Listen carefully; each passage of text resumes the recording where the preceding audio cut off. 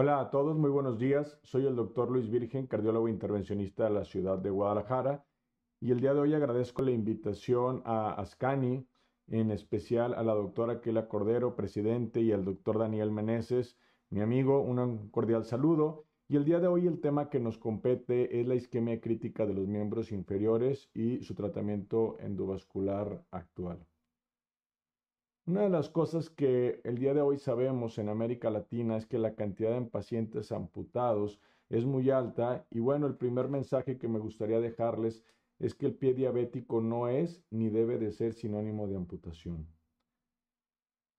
Y bueno, en la charla vamos a poder platicar de cuatro cosas y, y la primera de ellas es qué pasa en realidad con este paciente amputado. Y vean ustedes que cuando pensamos en diabetes, pues diabetes es un problema global mundial y 15 a 20%, 25% de los pacientes con diabéticos serán afectados por una úlcera a lo largo de la vida. Y bueno, se considera en los Estados Unidos que la úlcera es la causa más frecuente de hospitalización en el paciente diabético, lo que hace que esto sea cada vez más frecuente. Vean ustedes que el índice de amputaciones es extremadamente alto y conforme el paciente diabético va teniendo más edad, esto se va haciendo también cada vez más frecuente. Y bueno, si nos vamos a las estadísticas en México, que es donde nosotros vivimos, ustedes pueden observar que de acuerdo a datos del Instituto Mexicano del Seguro Social, que es la principal institución que existe pública en México, pues somos el país con el mayor índice de amputaciones dentro de la OCDE, prácticamente amputamos tres o cuatro veces más que cualquier otro país y es probable que estas estadísticas se repitan en América Latina. Cuando nosotros pensamos que un tratamiento endovascular, un tratamiento quirúrgico en la úlcera es costoso, tenemos que pensar que también las prótesis son costosas y la sobrevida de este paciente de repente tenga que ver con esa amputación, de tal manera que cuando nosotros hoy pensamos que el paciente va a ser amputado y se va a llevar a colocar una, una prótesis, vean ustedes que apenas 3 de cada 100 pacientes amputados vuelven a caminar y esto lo hace una cosa terrible en nuestro medio. Otra de las cosas que tenemos que entender es cuál es la historia natural de la enfermedad en la, arteria, en la, en la parte arterial periférica y estos pacientes con isquemia crítica un año después apenas el 50% de ellos se encuentran libres de eventos, 25% de estos pacientes se encuentran amputados y 25% se encuentran muertos. Pero si nosotros vamos a pensar en este porcentaje de amputación en América Latina, probablemente sea muchísimo mayor.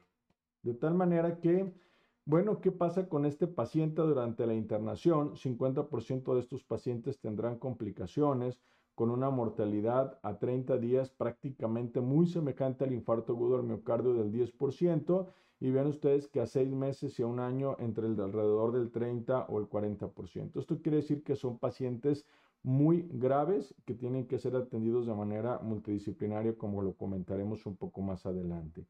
La otra cosa es cómo nosotros hacemos el diagnóstico de enfermedad arterial periférica, porque es una enfermedad poco diagnosticada y muchas veces el paciente comienza con alguna claudicación. Y bueno, tenemos que entender que muchos pacientes pueden tener enfermedad arterial periférica sin síntomas y tener algunas obstrucciones sin que esto sea necesariamente sintomático.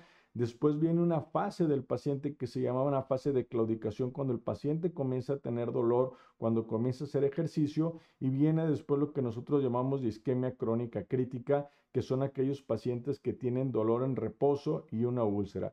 Y esto es muy importante porque el diagnóstico viene desde que el paciente está en el consultorio. Quizás la clasificación que nosotros utilizamos más frecuentemente es la clasificación de Rutherford. Una de las cosas que nosotros tenemos que pensar dentro de este diagnóstico, además de la historia clínica del paciente, es los antecedentes y si este paciente tiene o no tiene pulsos. Lo ideal en todos estos pacientes siempre yo comento que debería ser el realizar un índice tobillo-brazo, que es cuantificar las presiones tanto del brazo como de la pierna. Y bueno, si nosotros, por ejemplo, tenemos 120 en el brazo y 120 en la pierna, esto nos da 120 entre 120, nos da 1. Pero si nosotros tenemos 120 en el brazo y 60 en la pierna, nos da un índice tobillo-brazo de 0.5. De tal manera que conforme el índice sea más bajo, la probabilidad de enfermedad es mayor. Vean ustedes que el realizar un índice tobillo-brazo requiere de un baumanómetro y requiere de un Doppler que muchas veces no está disponible en nuestros medios. Entonces, yo les digo que si tuviera que dejarles un segundo mensaje el día de hoy, es que cuando menos deberíamos de tener la obligación de en todos los pacientes checarle los pulsos. Los pulsos debería ser hoy algo prácticamente obligado en toda nuestra consulta de cardiología porque si un paciente no tiene pulso, probablemente su índice tobillo-brazo sería abajo de 0.76 de acuerdo a algunos estudios. Entonces, el nosotros no checar los pulsos es prácticamente como si le dijéramos al paciente que tiene un colesterol alto, un LLD muy alto, es un factor de riesgo adicional que nosotros debemos de pensar en la consulta. Vean ustedes cómo la enfermedad arterial periférica es un predictor de mortalidad. Este es un estudio realizado por la doctora Mayra Guerrero, una mexicana de los Estados Unidos, y vean ustedes cómo la doctora Guerrero demuestra en los pacientes con infarto agudo al miocardio que si ellos tenían o no tenían enfermedad vascular periférica, la probabilidad de mortalidad a 360 días es mucho mayor. Tenemos otros estudios que nosotros hemos acompañado a lo largo de estos años, como el estudio BARI, que fueron aquellos pacientes que eran sometidos a angioplastía coronaria en pacientes diabéticos, que algunos de ustedes recordarán, y vean ustedes que también el estudio Bari nos demostró que tener un índice tobillo-brazo era un predictor de mortalidad. Y la otra cosa que el estudio Bari nos enseñó es que si el paciente tenía una arteria tan rígida que en el Doppler no fuera compresible, también es un factor de mortalidad que debemos de tomar en cuenta. Entonces, un índice tobillo-brazo no compresible o un índice tobillo-brazo bajo es un predictor de mortalidad en la mayoría de los estudios. ¿Qué dice la Sociedad Europea de Cardiología hace un par de años en las nuevas guías de intervencionismo o de, tratamiento de enfermedad arterial periférica? Vean que nosotros deberíamos de realizar un índice tobillo-brazo en consultorio, esto es un clase 1, nivel de evidencia C, y la cuantificación, como yo les decía, si era no compresible o no compresible también. Y bueno, si el paciente tiene la sospecha, probablemente estaría indicado realizar además del índice tobillo, dependiendo de los síntomas, un ultrasonido, una tomografía o una resonancia para establecer el diagnóstico. Probablemente hoy el mejor método, eh, que es un método no invasivo, que no lleva contraste, etcétera, será ultrasonido, que sería lo equivalente como nosotros como cardiólogos realizar un ecocardiograma. Vean ustedes que esto lo hicimos nosotros hace un par de años atrás. La Sociedad de Cardiología Intervencionista de México nos dio la oportunidad de hacer una encuesta entre los socios, nosotros somos socios de esa sociedad, y nosotros pudimos ver que menos del 25% de los cardiólogos intervencionistas en México realizan índice tobillo-brazo. Entonces creo que es algo que se repite en todas las partes del mundo y el mensaje es que si nosotros no hacemos diagnóstico como cardiólogos o como intervencionistas de la enfermedad, pues es algo que no vamos a poder diagnosticar ni tratar adecuadamente a los pacientes. ¿Cuál es el tratamiento endovascular hoy de la isquemia crítica? Y bueno, eh, existen varias guías, probablemente una de las más recientes es esta que es una iniciativa del Dr. Mills, que es las guías de globales vasculares que fueron publicadas en marzo del 2018. Y bueno, estas guías nos hablan de la indicación del paciente, de si el paciente debe de ser llevado a revascularización o no. Y una de las cosas que hemos aprendido es que la mayoría de los pacientes pueden ser revascularizados cuando tienen una úlcera y que el tiempo que tarde en llevarse ese paciente significa tejido. Y es una cosa que debemos de entender porque el paciente cada vez demora más y ahora con las nuevas pandemias y con el COVID el paciente todavía tarda más en llegar al consultorio de tal manera que algunas veces llegan en ocasiones con una gangrena húmeda tan intensa que el paciente no le queda otra opción más que la amputación, aunque esto pasa en la minoría de los casos. Ven ustedes que en algunos estudios 64% de los pacientes pueden ser llevados a una revascularización periférica y de ellos la mayoría, 85% a un tratamiento endovascular y algún 10 o 11% quirúrgico. Entonces existen características de los pacientes para ser llevados a uno u otro tratamiento. Lo ideal es siempre poder ofrecer ambos tratamientos a los dos. Si esto es bueno, si esto dura, se evita amputaciones. Hay varios estudios. Probablemente el estudio más clásico sobre esto fue el estudio Basil. Fue el primero de varios estudios. Este fue publicado en el 2005 en el Lancet Y ven ustedes 25 hospitales en Reino Unido, 452 pacientes con isquemia crítica randomizados a un tratamiento quirúrgico o un tratamiento endovascular. Y cuando nosotros seguimos la curva de los pacientes a lo largo de tres o cuatro años, prácticamente la curva es muy parecida y a partir de los cuatro años de repente favorece el tratamiento quirúrgico en una era en donde no teníamos el arsenal del tratamiento endovascular que tenemos ahora, pero llama la atención la sobrevida libre de amputación que es extremadamente buena comparado con lo que pasa hoy en nuestros centros, principalmente en México y en América Latina. Existen otros estudios más recientes como el espinactrial. Ven ustedes los resultados a tres años del tratamiento endovascular contra el tratamiento quirúrgico, mostrando que ambos tratamientos son extremadamente efectivos en el paciente con isquemia crítica. De tal manera que esto ha llevado desde los comienzos de los años 2000 a disminuir el número de pacientes que son llevados a tratamientos quirúrgicos, aumentar el número de procedimientos endovasculares y por ende a disminuir las amputaciones en el mundo.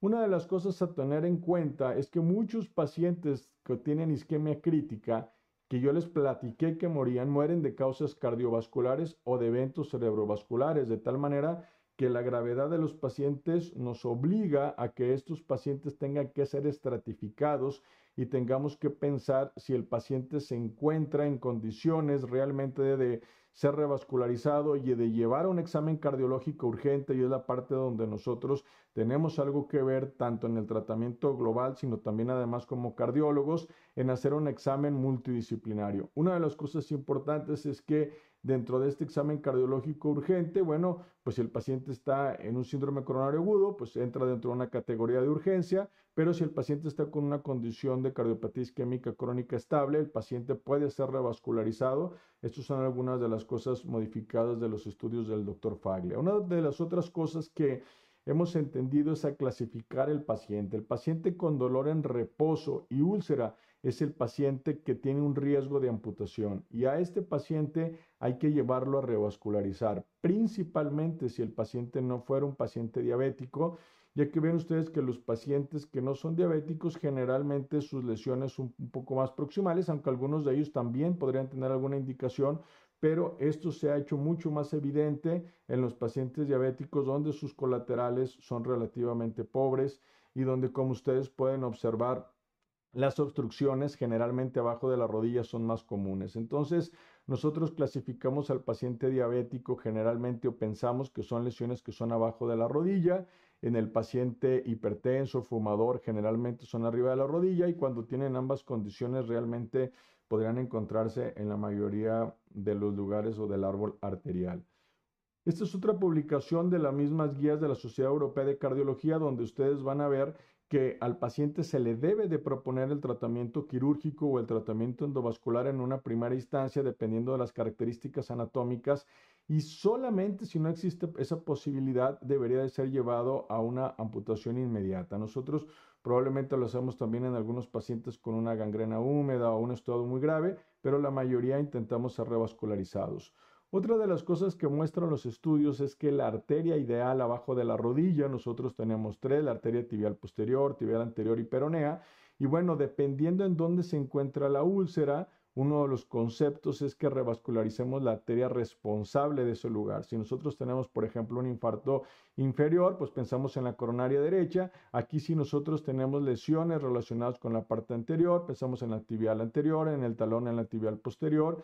Y bueno, dependiendo de eso, deberíamos de revascularizar idealmente la arteria que lleva a ese lugar aunque en algunas ocasiones esto no es posible por la mala anatomía de los pacientes y bueno, también existe la posibilidad de recanalizar la arteria que no está relacionado y, por circulación colateral o por el arco plantar se ha recuperado a los pacientes. La mayoría de estos pacientes son lesiones oclusivas y, lesiones largas abajo de la rodilla, lo cual nos hace eh, pensar que la revascularización probablemente quirúrgica en arterias tan delgadas, tan distales, etcétera, no sea posible en muchos de los pacientes. Por esto es que el tratamiento endovascular ha ganado un nicho de mercado muy importante. Tenemos algunas clasificaciones nuevas que nos ayudan a predecir no solamente la parte de anatomía, sino la parte de pronóstico del paciente. Esta es la clasificación de Wi-Fi, que es una clasificación que nos habla de qué tan profunda es la úlcera, las características de presión que tiene y el grado de infección.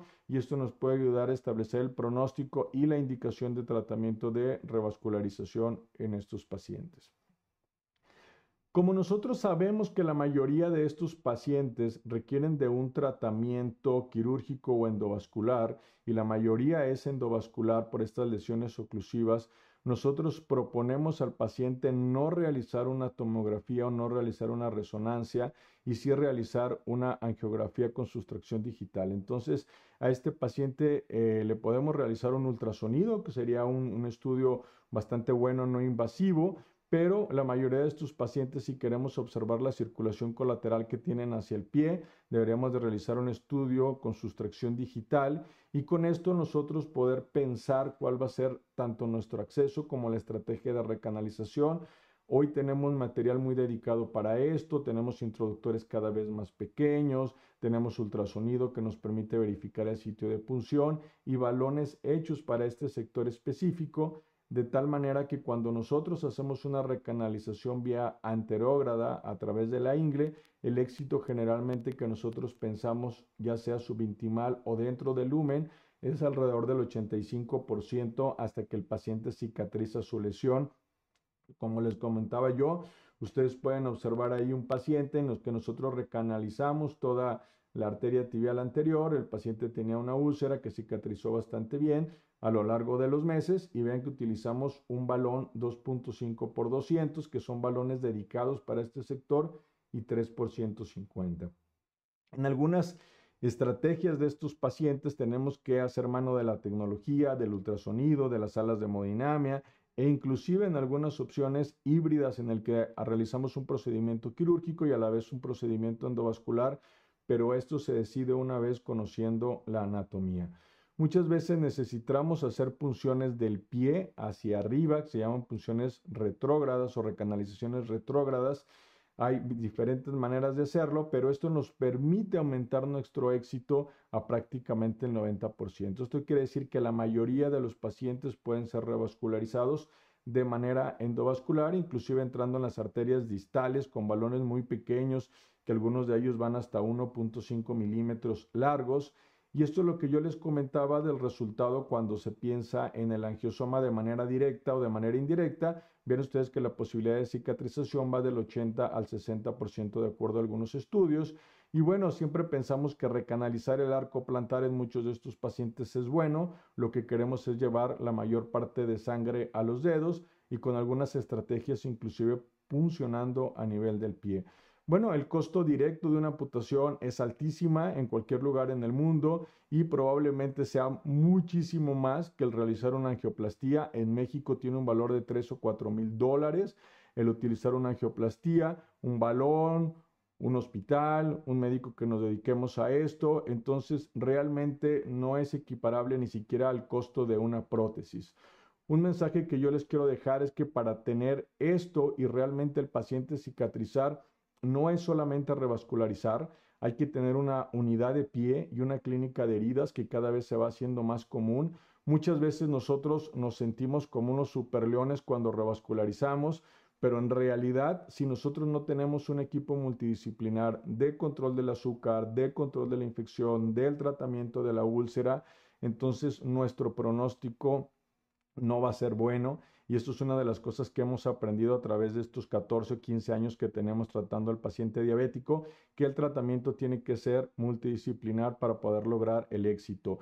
Vean ustedes que la cicatrización en la herida, en la flecha, este es un paciente que lo tratamos, este es el resultado a tres meses, el resultado a seis meses, entonces nosotros pensamos que el éxito viene una vez que la herida cerró y esto es algo muy importante a tener en cuenta. La otra cosa que hemos aprendido es que si son pacientes tan graves como si tuvieran un infarto, el paciente tiene que tener un tratamiento médico adecuado porque muchos de los estudios y muchos de nuestros pacientes han demostrado que no están bien tratados y son las guías de nuevo de la Ciudad Europea donde dice que tiene que tener un control del colesterol, un control de la diabetes, etcétera, y para esto se requiere que nosotros podamos hacer esto Esta es una clínica de heridas que abrimos en el hospital en donde estamos nosotros. Ahora nos movimos al tercer piso, pero esta era la idea original en marzo del 2017 en el hospital y vean que tiene un tratamiento desde la parte podológica, de la parte biomecánica del pie hasta su tratamiento. Pues era lo que yo quería platicarles el día de hoy. Estoy a sus órdenes. Si tienen cualquier pregunta, estoy allí en redes sociales y evitemos las amputaciones en América Latina. Les agradezco mucho la invitación y estoy a sus órdenes.